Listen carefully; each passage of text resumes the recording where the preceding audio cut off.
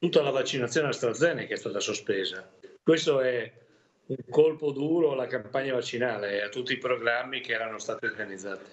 La doccia fredda arriva a metà pomeriggio. L'Agenzia Italiana del Farmaco AIFA ha deciso di estendere in via del tutto precauzionale e temporanea il divieto d'utilizzo del vaccino AstraZeneca su tutto il territorio nazionale, in attesa dei pronunciamenti dell'EMA. La decisione è stata assunta dopo un colloquio tra il Presidente del Consiglio Mario Draghi e il Ministro della Salute Speranza, che aveva parlato con i suoi omologhi di Germania, Francia e Spagna. E subito, in osservanza a quanto disposto dall'AIFA, anche in Friuli Venezia Giulia le vaccinazioni con AstraZeneca AstraZeneca sono state momentaneamente sospese. Anche il prosieguo della campagna vaccinale a partire dalla fascia d'età tra i 75 e i 79 anni, del quale era stata annunciata la partenza questa settimana, è dunque sospesa momentaneamente dal momento che prevedeva proprio l'utilizzo di AstraZeneca. La previsione delle dosi era una previsione importante, noi avevamo stabilito eh, di procedere con l'apertura delle agende per la categoria da 79 a 75 anni, è evidente che a questo punto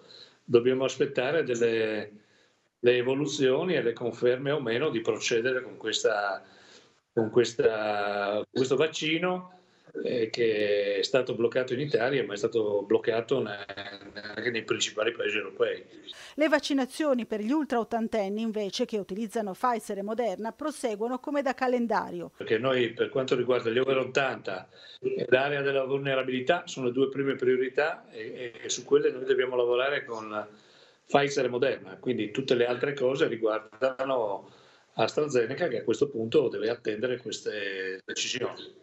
La decisione di AIFA, come ha spiegato lo stesso Riccardi, fa seguito al sequestro del lotto 5881 di AstraZeneca messo in atto dalla Procura di Biella conseguentemente al decesso di un docente a cui era stato inoculato il vaccino.